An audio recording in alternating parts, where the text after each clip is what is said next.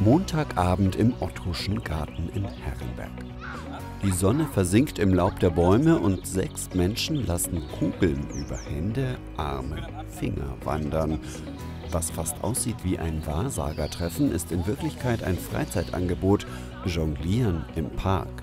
Aber wird beim Jonglieren nicht mit Bällen geworfen? Das nennt sich Kontaktjonglage. Das kann man sich auch ganz gut herleiten, weil die Kugel immer den Kontakt zum Körper behält.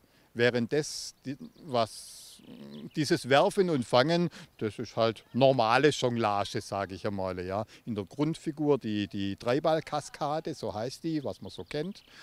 Äh, Im Gegensatz eben zu dieser Kontaktjonglage, wo, wo der Ball nie den Körper verlässt.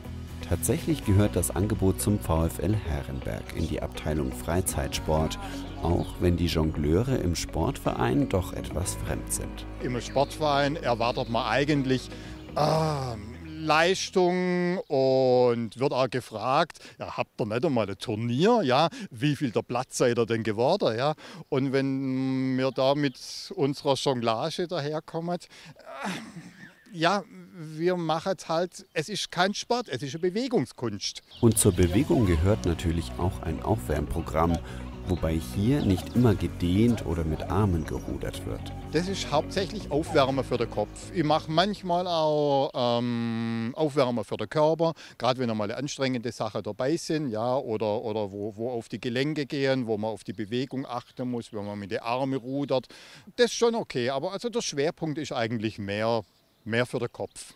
Grob gesagt, von April bis Ende August trifft sich die Gruppe im Park, wenn es das Wetter zulässt. Im Winter sind sie in der Halle. Willkommen ist jeder, auch wenn das mit dem Jonglieren lernen schon etwas Zeit in Anspruch nimmt. Wenn man daheim gar nichts tut, ja, ähm, dann braucht man bestimmt ein Vierteljahr, bis man mal so diese Grundfigur mit den, mit den drei Bällen, so mal sechs, acht Würfe hinkriegt. So von null weg raus, ja. Wer sich davon nicht abschrecken lässt, einfach mal vorbeikommen. Am Montagabend im Ottoschen Garten von 8 bis Sonnenuntergang.